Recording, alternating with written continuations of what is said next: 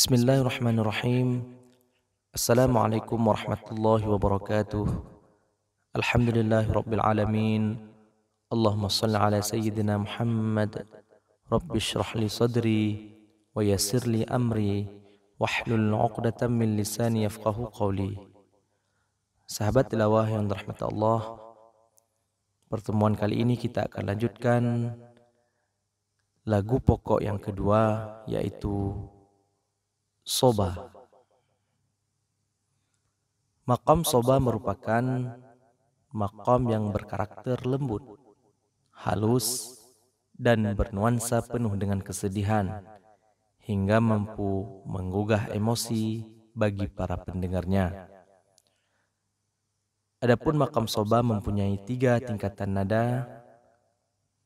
Yang pertama, Soba asli yang kedua, ajami ataupun jawab.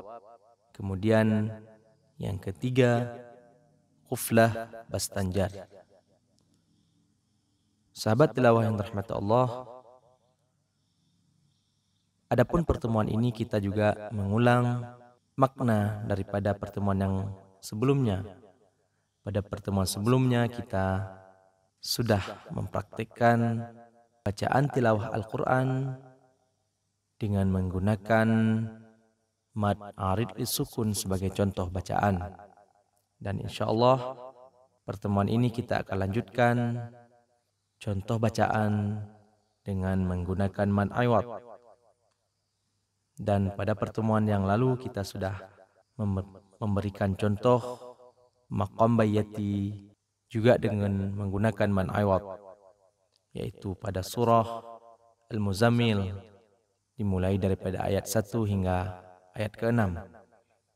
Dan sahabat tilawah yang rahmat Allah kita akan lanjutkan surah Al-Muzammil dimulai dari pada ayat 7. Mari kita lihat. A'udzu billahi minasyaitonir rajim. بسم الله الرحمن الرحيم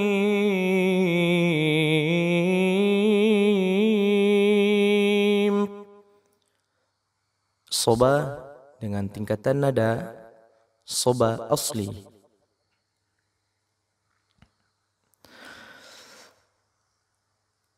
In لك في النهار سبحا طويلا Kita ulangi. Inna laka fin nahari sabahan طويلا Kita ulangi. Inna laka fin nahari sabahan طويلا Kita lanjutkan soba dengan tingkatan nada عجمي واذكر اسم ربك وتبتل إليه تبتيلا Kita ulangi. واذكر اسم ربك وتبتل فَأَرْسَلْ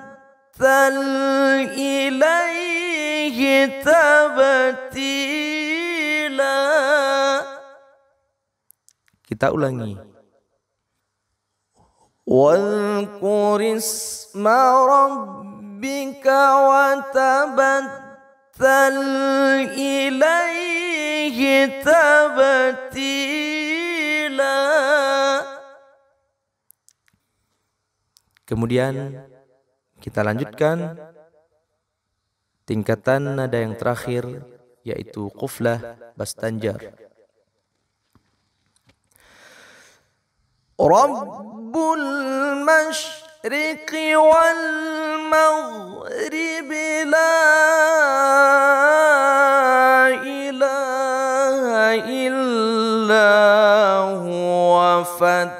فاتخذه وكيلا Kita ulangi. رب المشرق والمغرب لا إله إلا هو فاتخذه وكيلا Kita ulangi.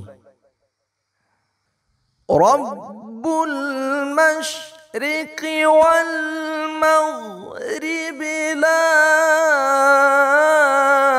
إله إلا هو فاتخذه وكيلا صدق الله العظيم Alhamdulillah Rabbil Alamin Sahabat tilawah yang rahmat Allah Kita sudah mempraktekkan Contoh bacaan Dengan menggunakan makam soba Yang contohnya kita gunakan mad Aywab Pada surah Al-Muzammil Terima kasih sahabat tilawah yang rahmat Allah Semoga bermanfaat bagi para qari pemula dalam mengikutinya. Amin amin ya rabbal alamin. Assalamualaikum warahmatullahi wabarakatuh.